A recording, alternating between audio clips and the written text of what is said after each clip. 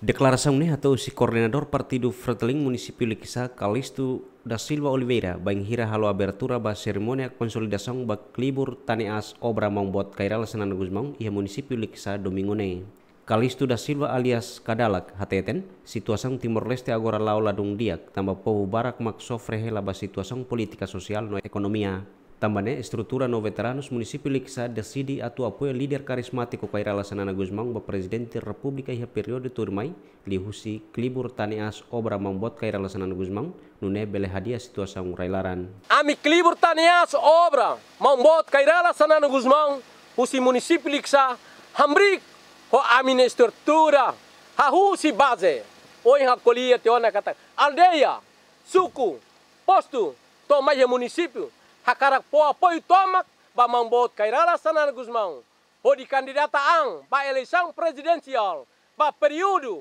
2022 ba 2027. Iha fating hanesan representante Abilio Mesquita Mosoko alias Dallas mos deklara sira se apoio hotu líder karismático kairala sanana Guzmão ba presidente República.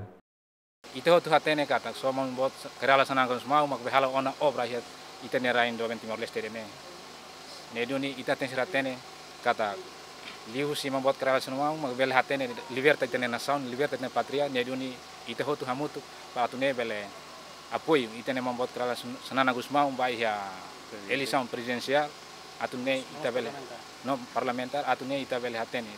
resolve itene situação de agora ita enfrenta temi mau bot sanana gusmau amila amila lahkiduk idane ami garantika neten ki mananduni taun semak bele lidera bele lori nação ne ba rohan to abang bruya pobu tomak zoben tomak dane bel hak matek so membuat sanana gusmau Kelibur taneas obra membuat kairala sanana gusmau ne hari ihatinang ring rosang rosing itu anesan mahun ida basi dadang hotu nebe mak hakara kapoyu lider karismatiko kairala sanana gusmau ba elisong presidente republika. Periodo tinang ring roron resin rua to periodo tinang ring roron rosing itu no organisasi rasik hamri kanesang independente Abraham Amaral, Zaime dos Santos, GMN.